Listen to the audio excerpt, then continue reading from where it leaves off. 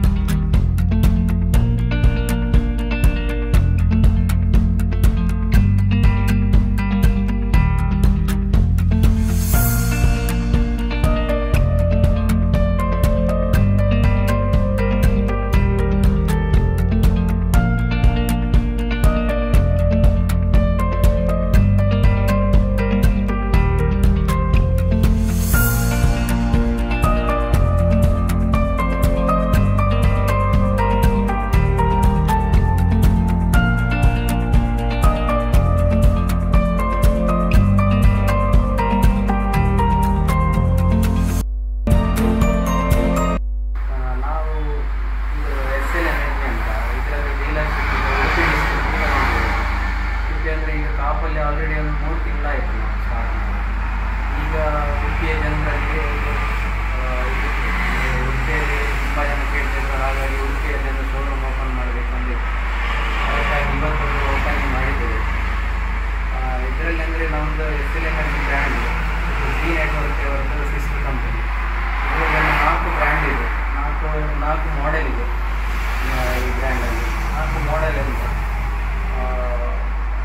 thirty five to eighty kilometre ರೇಂಜಲ್ಲಿ ಇದು models ಅಂದರೆ ಡಿಫ್ರೆಂಟ್ ಡಿಫ್ರೆಂಟ್ ವೇರಿಯಂಟಲ್ಲಿ ಮಾಡೆಲ್ಸ್ ಅದರಲ್ಲಿ ಸಹ ಒಂದು ಬೇಸ್ ಮಾಡೆಲ್ ಟೈಪ್ ಸೈಕಲಲ್ಲಿ ಇದೆ. ಅದೊಂದು thirty thirty five thirty five kilometre range ಇದೆ.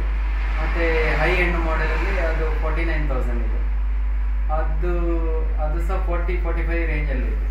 ಬಟ್ ಅದರ ಇನ್ ಬಿಟ್ವೀನ್ ಒಂದು ಏಯ್ಟಿ ಕಿಲೋಮೀಟರ್ ರೇಂಜಿದು ಗೆಟ್ ಸೆವೆನ್ ಅದು ತುಂಬ ಜನರಿಗೆ ಕೇಳ್ತಾ ಇದೆ